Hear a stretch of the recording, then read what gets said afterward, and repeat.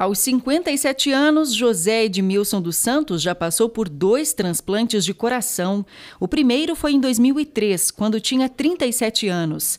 Ele foi diagnosticado com miocardiopatia dilatada, que causa insuficiência cardíaca.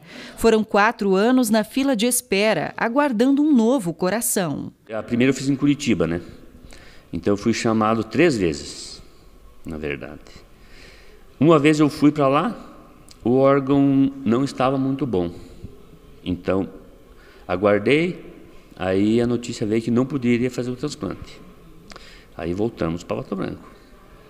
Aí, dali mais uns oito meses, um ano, chamaram novamente. Aí foi caso da família não doar. Porque como, tava, como o paciente estava internado lá, né? Então, e eu aqui em Pato Branco, então eu teria que me deslocar até Curitiba. Então eles mandavam eu ir antecipadamente, né? E a família falou que ia doar. Mas chegou na hora, não doaram. Então voltei novamente. Né? Aí após, digamos, quatro anos, né? Daí que o pessoal me chamou. Aí quando cheguei, já estava tudo certinho, já cheguei, fui para a sala, fiz o transplante, né?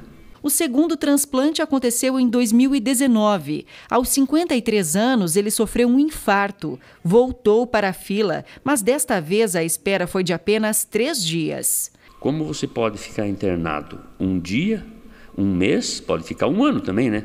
Aguardando o coração. Porque não é só vir o órgão, né? Tem que ser compatível. Dados do Ministério da Saúde apontam que atualmente 65 mil pessoas estão na fila de espera por um transplante aqui no Brasil. Dados da Central Nacional de Transplantes apontam que destas, 386 pessoas aguardam por um transplante de coração.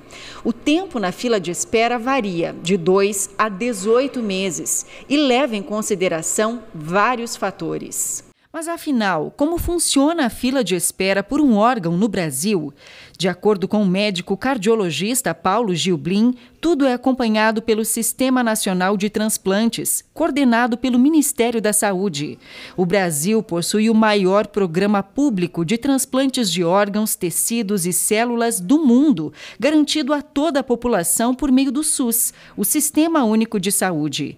Cada região do país possui as suas demandas e as cirurgias acontecem de acordo com a urgência de cada caso, além da compatibilidade. Existe uma fila única para cada região, para cada estado tem sua fila. É, e essa fila, então, segue uma ordem de prioridade por é, inscrição na fila.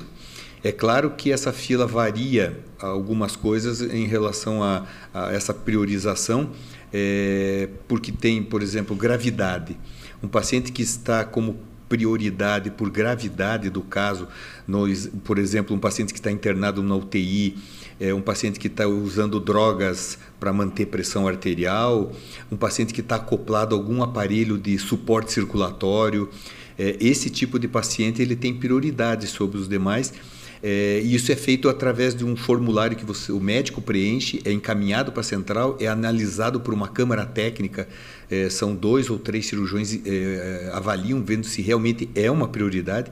E esse paciente daí ele passa na frente da fila é, para receber um coração, da onde aparecer um coração compatível com ele. Esse é o primeiro caso. O segundo é a compatibilidade. Se o primeiro, o segundo, o terceiro da fila não for compatível com aquela doação, vai para o quarto, para a quinta, mas sempre seguindo uma ordem é, que, sem essas priorizações, são, é bem respeitada. Em Pato Branco, transplantes de coração são feitos desde 2005. Até agora foram 27 cirurgias. Nós estamos já há mais de anos sem fazer transplante e tem algumas causas. A, a principal causa é isso que eu te falei: são órgãos é, que é, não são tão favoráveis para se implantar em outro paciente. Nós temos um grande problema da logística, né, de transporte desses órgãos, já que é, a Central Nacional de Transplante não tem uma, uma aeronave, não tem uma coisa especificamente para isso.